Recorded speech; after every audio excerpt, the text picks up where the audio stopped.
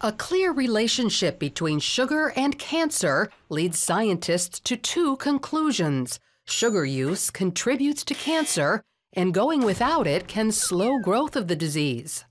A hundred years ago, most folks consumed only four pounds of sugar a year. That's this much.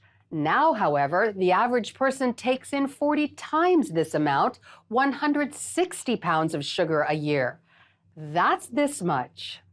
Food manufacturers add enormous amounts of sugar, usually in the form of high fructose corn syrup, to products we consume all day, every day coffee drinks and cereal, soda and snacks, even foods you wouldn't expect, like spaghetti sauce and peanut butter. This tiny container of yogurt contains more sugar than a candy bar.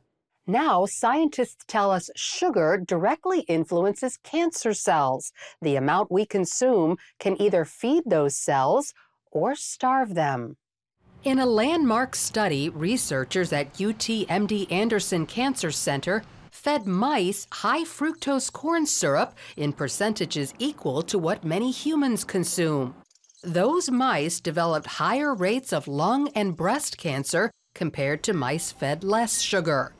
The study also tells us something about people who already have cancer. One researcher said a lot of patients are told it doesn't matter what you eat after you are diagnosed with cancer. This preliminary animal research suggests that it does matter.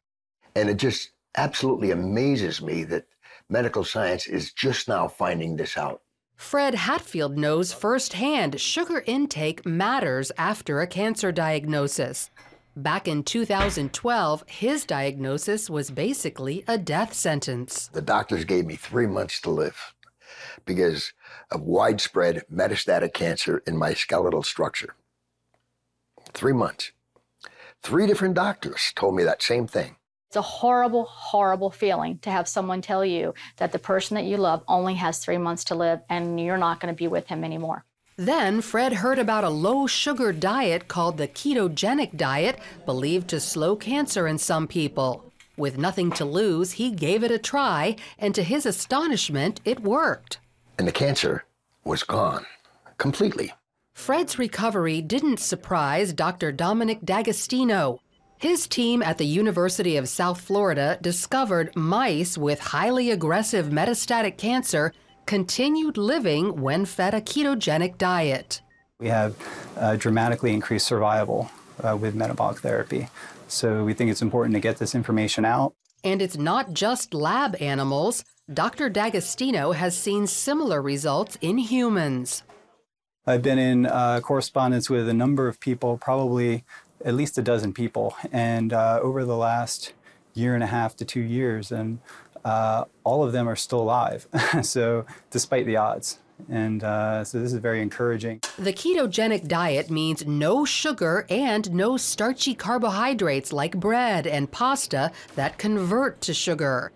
D'Agostino says cancer cells love sugar and starch because cancer thrives on the glucose from those foods.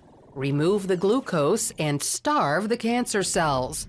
Glucose also fuels our healthy cells, but if it's not there, those cells can switch to an alternate fuel source called ketone bodies. Cancer cells only run on glucose.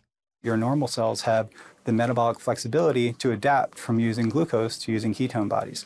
But cancer cells lack this metabolic flexibility.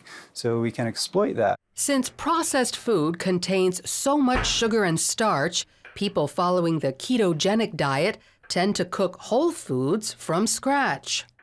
You can go online and there's just cookbooks and you know it's not it's it's clean eating, just very clean eating. None of the sugars, the salts, the you know the um, the trash food.